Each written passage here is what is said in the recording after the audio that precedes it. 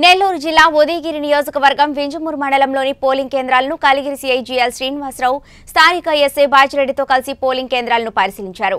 Polling కేంద్రాలలో ఏర్పాటు చేసిన వస్తువులను గురించి అడిగి తెలుసుకున్నారు.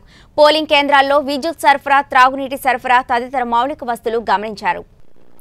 ఈ సందర్భంగా ఆయన మాట్లాడుతూ ప్రతి పోలింగ్ కేంద్రానికి అవసరమైన వస్తువులు ఉండేలా చూడాలన్నారు. రెండో విడత పోలింగ్కు నామినేషన్ ప్రక్రియ ప్రారంభమవుతుందన్నారు. ఇందుకోసం ఏర్పాటు చేసిన నామినేషన్ కేంద్రాలను కూడా పరిశీలించామన్నారు. అందులో ఉన్న లోటుపాట్లను గమనించి స్థానిక తహసీల్దార్కు తెలియజేసి అన్ని వస్తువులు కల్పించేలా చూస్తామన్నారు. అలాగే ఓటర్ను భయపెట్టిన వారిపై కఠిన చర్యలు తీసుకుంటామని ఆయన తెలిపారు. ఓటర్ తమ ఓటు హక్కును నిర్భయంగా స్వేచ్ఛగా ఎవరికీ భయపడకుండా ఓటు హక్కు వినియోగించుకోవాలని తెలిపారు.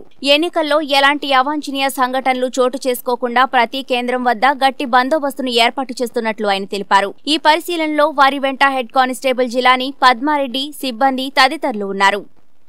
రెండవ విడత గ్రామ పంచాయతీ ఎన్నికల్లో భాగంగా ఈ నెల పదమూడవ తారీఖు ఇంజమూరు మండలంలో ఆత్మకూరు రెవెన్యూ సబ్ డివిజన్ పరిధిలో ఎలక్షన్ జరుగుతాయి. అదేవిధంగా కలిగిరి సర్కిల్ పరిధిలో ఇంజమూరు మండలంలో మనకి పదమూడవ తారీఖు ఎలక్షన్ జరుగుతాయి. రేపు నుంచి ఎలక్షన్ సంబంధించిన నామినేషన్ పత్రాల సేకరణ రేపు నుంచి స్వీకరించడం జరుగుతుంది. ఇందుకోసం వింజమూరు మండలంలో మొత్తం ఐదు నామినేషన్ స్వీకరణ సెంటర్ను ఏర్పాటు చేయడం జరిగింది. అలాగే మొత్తం గ్రామంలో మొత్తం పన్నెండు పంచాయతీలు ఉన్నాయి వింజమూరు మండలంలో.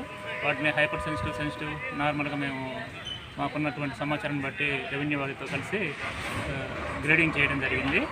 దాంట్లో భాగంగా దానికి తగ్గట్టుగా బందోబస్తు ఏర్పాటు కూడా ఏర్పాటు చేయడం జరుగుతుంది. అలాగే ఈరోజు ఎస్ఐ గారితో కలిపి మేము అన్ని మ్యాక్సిమం అన్ని పోలింగ్ కేంద్రాలు పోలింగ్ బూత్స్ అన్ని విజిట్ చేయడం జరిగింది. అందులో ఉన్న లోటుపాట్లు అన్నింటినీ మేము రాసుకోవడం జరిగింది. ఇవన్నీ కూడా మా ఉన్నతాధికారి దృష్టికి ప్లస్ రెవెన్యూ అధికారి దృష్టికి తీసుకెళ్ళి అక్కడికి కావాల్సిన ఏర్పాట్లన్నీ సక్రమంగా పోలింగ్ ఫ్రీగా పేరుగా జరిగేటట్టు చూడటం జరుగుతుంది.